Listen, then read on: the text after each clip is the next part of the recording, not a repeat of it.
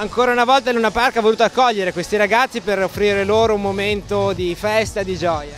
Certamente, infatti noi siamo contenti di questo perché è una cosa che si faceva anni fa in piazza Milano, non siamo più riusciti a rifarla per via del, della pavimentazione che nella parte esterna non uscivamo, da quando siamo tornati questo, su questa quest'area siamo riusciti ancora a fare questa manifestazione per questi ragazzi che è una cosa per noi gratificante.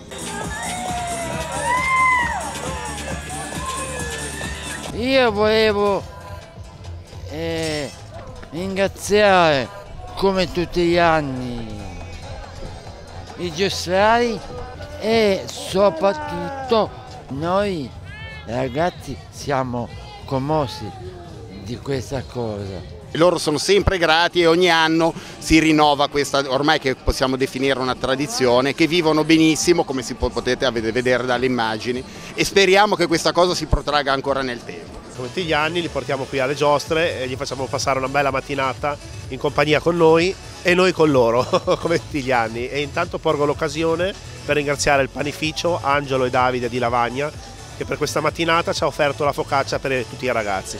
Una realtà apprezzata quella delle giostre, oggi un modo anche per eh, riconoscere l'accoglienza che la città offre a questa realtà.